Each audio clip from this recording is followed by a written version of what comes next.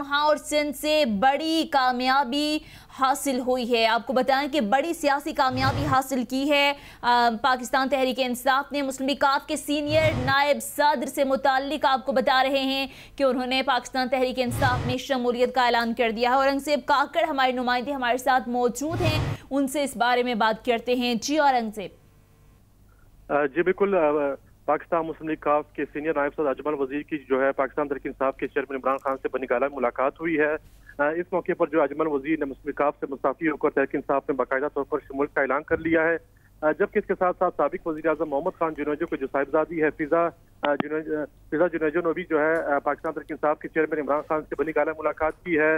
اس موقع پہ انہوں نے بھی جو ہے تحریک انصاف میں باقاعدہ طور پر شمولیت اختیار کر لیا جبکہ اس موقع پہ چیئرمین تحریک انصاف عمران خان نے دونوں رہنماؤں کی تحریک انصاف میں شمولیت پر جو ہے انہیں خوش آمدید کہا ہے اور عمران خان کہنا تھا کہ دونوں رہنماؤں کی شمولیت سے جو ہے پاکستان تحریک انصاف جو ہے مزید مضبوط ہوگی۔ اور انصیب کاکڑ نمائندہ کیپٹل ٹی وی آپ نے اپڈیٹ کیا بہت شکریہ آپ کا۔